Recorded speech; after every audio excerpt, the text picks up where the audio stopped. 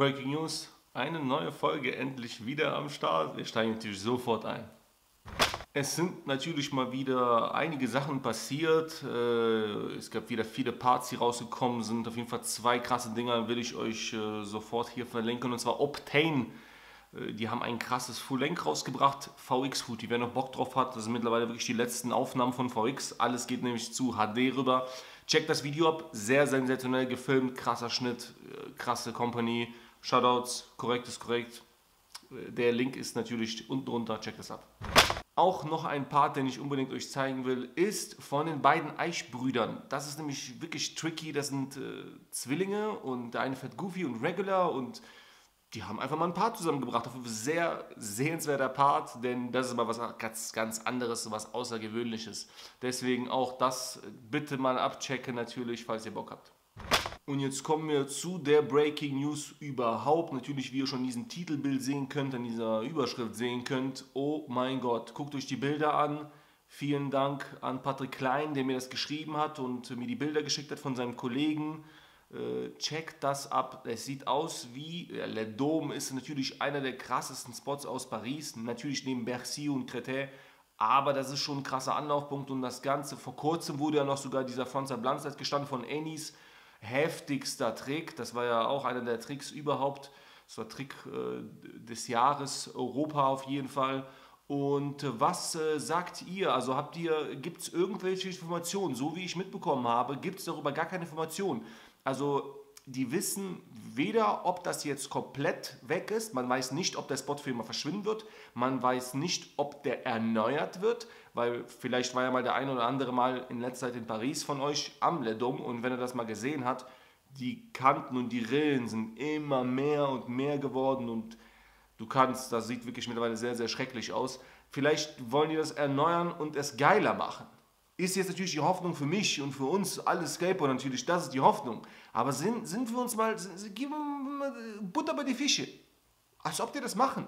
Die werden das doch bestimmt anders aufbauen und dann Skate stoppen. Oder irgendwie so bauen, dass der Spot nicht mehr da ist.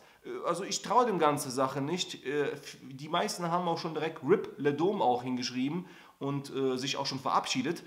Ich muss natürlich sagen, auch für mich das ist ein krasser Augenblick, denn ich habe das Double Set mal getreflippt und auch der bekannte Treflip von der Silhouette von dem Dreh, der auf meinen Shirts ist und der überall drauf ist, der Drehflip, weil ein Tag ohne Dreh ist ein verlorener Tag, den habe ich tatsächlich auch dort geschossen. Ich verbinde also mit Le Dom eine Menge Skateboard-Geschichte für mich persönlich, krassester Ort, krassester Augenblick. Den Drehflip dazu machen, das war so ein Beginn für mich auf jeden Fall. Äh, das war das erste Mal, dass ich in Paris war sehr krass zu sehen, dass solche Spots, das ist halt immer wieder, auch der Kölner Spot war ja weg und jetzt trifft es wieder Paris und es trifft immer wieder. Ich äh, will bloß nicht prophezeien, was noch alles passieren könnte, im schlimmsten Falle. Aber naja, was habt ihr gesagt? Schreibt mal in die Kommentare, was wisst ihr darüber, was glaubt ihr, lasst uns darüber unterhalten. Und natürlich ist meine E-Mail-Adresse auch hier unten drunter. Also, für Petitionen, für irgendwelche Sachen, schreibt mir eine E-Mail. Ihr könnt mir keine Nachrichten schreiben, denn es sind zu viele Nachrichten, die ich auf Social Media Kanälen bekomme. Das kann ich nicht mehr mir alles merken und kontrollieren, wer mir da was schickt. Wenn ihr wirklich eure Petition, eure Stadt was bewegen wollt, ja, irgendwas krasses, nicht einfach, wir waren gestern skaten und hier postet das mal so. Das ist mir, jeder skatet, hat gestern geskatet oder hat gestern einen Trick gemacht. So. Freunde, wir müssen was bewegen. Ich äh, biete hier eine Plattform, wo ihr mir schreiben könnt und wir vielleicht was bewegen können in der Stadt für eine neue Halle, für einen neuen Skatepark, für irgendwas, was vorankommt, vorankommen soll. Also, wie gesagt, Mail ist in der Beschreibung.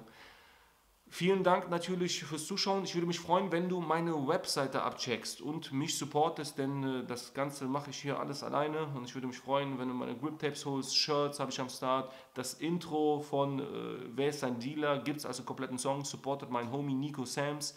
Checkt das alles ab, verlinke ich alles hier unten drunter, also geht einfach in die Beschreibung, da sind alle Sachen, die Parts sind da verlinkt, die, äh, der, der Online-Shop ist verlinkt, alles mögliche ist da am Start auch meine E-Mail-Adresse, falls ihr mir was schreiben wollt, könnt oder ihr sollt auch. Supportet mich auch, falls ihr irgendwas, ne? Lasst uns alle Gas geben, Freunde. Ich freue mich auf 2018 und wir sehen uns natürlich bei der nächsten Breaking News, beim nächsten Video. Ich denke mal, natürlich am Wochenende gibt es wieder ein neues Video. Also seid dabei, bleibt dabei und äh, like natürlich das Video bitte. Und äh, ich bin wieder raus. Also geht raus, skaten. Vergesst nicht einen Tag ohne Dresden verlorener Tag. Peace. Wer ist ein Dealer? Woo! Wer ist ein Dealer? Sag, wer ist ein Dealer?